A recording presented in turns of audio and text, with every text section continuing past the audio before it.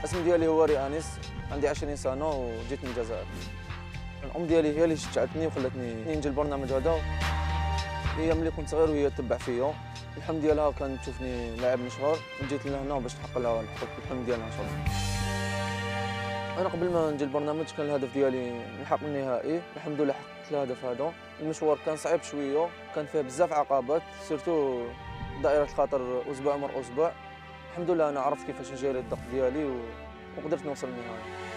أنا كنت في دائرة الخطر ثلاث مرات ما استسلمتش ضاعفت المجهودات ديالي باش نبين لهم باللي أنا نستاهل نكون في البرنامج هذا. ثالث لاعب بداية الخطر لهذا الأسبوع هو أنيس.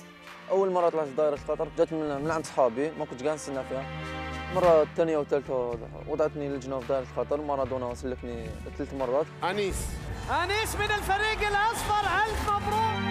حاجة كبيرة خلصت مارادونا ثلاث مرات. لازم ما نخيبش هذه الثقة ديالو ولازم نزيد نثبت له أكثر وأكثر باش يزيد يعطيني ثقة ونكون أنا The Victorious. المهارات اللي تخليني باش نكون The Victorious هما سببين. أنا ما لعبتش في المركز تاعي وبينت إمكانيات لاباس بها.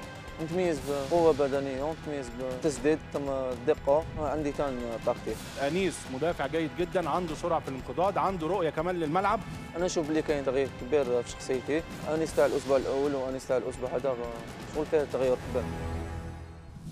واللاعب اللي قدر إنه يحصل على أعلى علامات من لجنة التحكيم هو اللاعب أنيس ألف مبروك. افضل لحظات هي كي خرجت رجل المباراة وفطرت مع كرقز رحنا في هليكوبتر رحلة في الجو.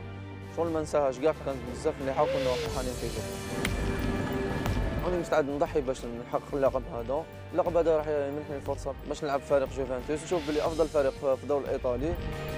فيكتوريوس تجربة رائعة، علمتني بزاف عفايس، غيرتني بزاف، نشوف بلي هذه التجربة ما راحش كاع ننساها حياتي. كاع.